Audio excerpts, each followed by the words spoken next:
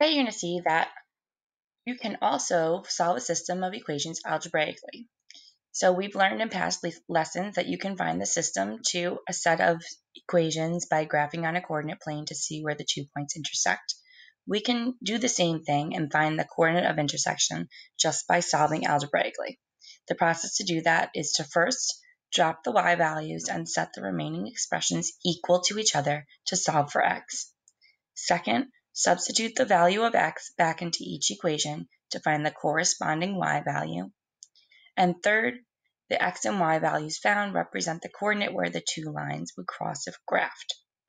So taking a look at number one, just like the direction state, we're going to drop the y values and set 3x plus 15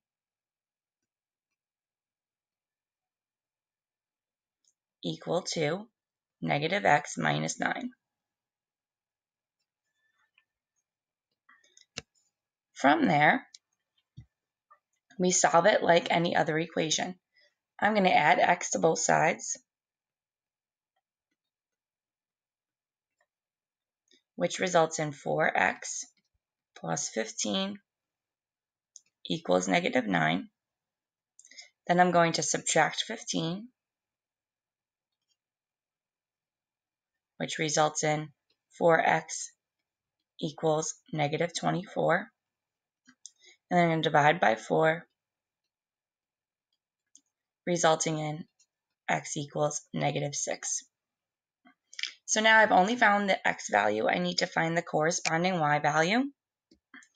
To do that, I substitute the negative 6 into both equations to make sure it works. So we have y equals 3 times negative 6 plus 15, which is negative 18 plus 15, which is negative 3. I'm going to do the same for the second equation just to double check. So we have y equals negative, negative 6. Okay, be really careful with that double negative. Minus 9 Negative negative 6 is like doing negative 1 times negative 6, which becomes positive 6 minus 9. And 6 minus 9 is also negative 3. So that's giving me my solution of negative 6, negative 3. So there's a lot of work involved in here, but it's important to do all of it to double check to make sure you've done it correctly. Number two, we do the same process. Again, drop the y's. So 3 halves x minus 1 equals 6 minus 2x. Add 2x to both sides.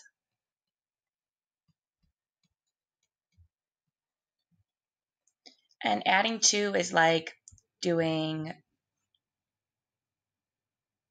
4 over 2. And 4 over 2 plus 3 over 2 is 7 over 2. So it's 7 over 2x minus 1 equals 6. Add 1. Add 1. So 7 over 2x equals 7. Multiply by the reciprocal. and we get x equals 7 divided by 7 is 1 times 2 is 2. Now we plug the 2 back into the other equations to, to see what the y value is. So we have y equals 3 halves of 2 minus 1. The 2's cancel out. y equals 3 minus 1, which also happens to be 2. Let's see if it works the same for the second equation. y equals 6 minus 2 times 2.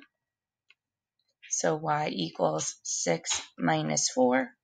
So y again equals 2. So the solution to this system is 2, 2.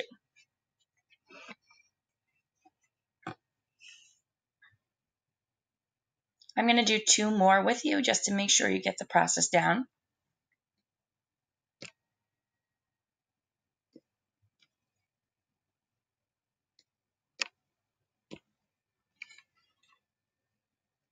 Okay, so for number three,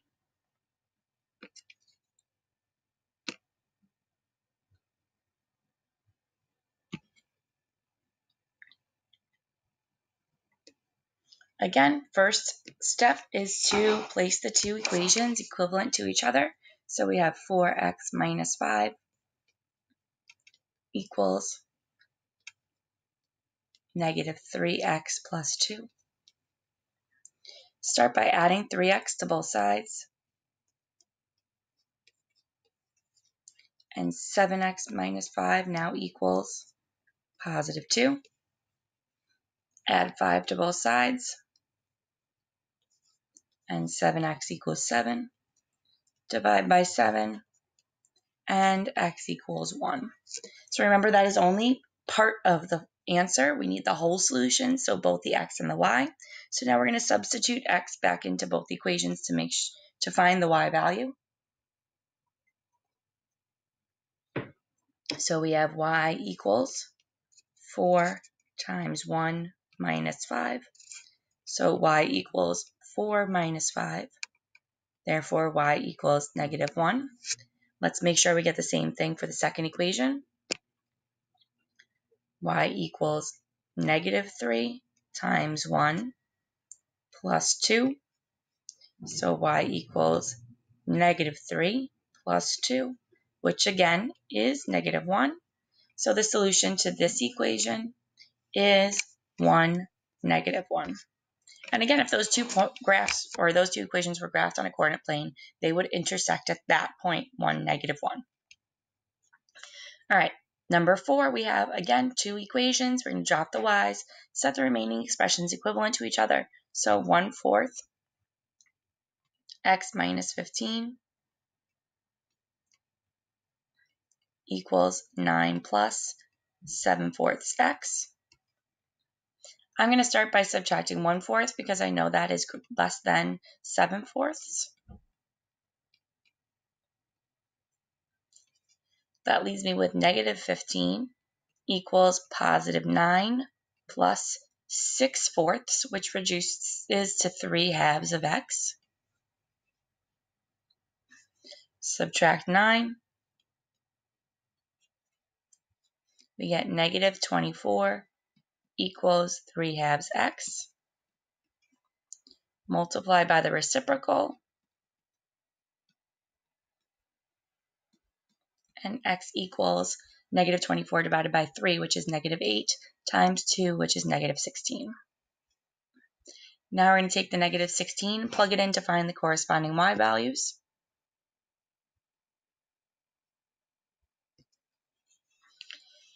So y equals 1 fourth of negative 16 minus 15. Negative 16 divided by 4 is negative 4 times 1 stays as negative 4 minus 15. So y equals negative 19. Now we're going to double check in the second equation. y equals 9 plus 7 fourths of negative 16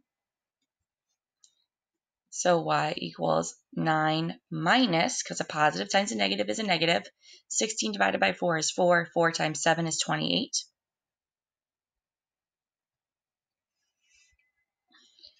And just like 28 divided, or 28 minus 9 is positive 19, 9 minus 28 is going to be negative 19. So our final solution is negative 16, negative 19. So you're on your own now. Go ahead and see if you can do the following equations on your own.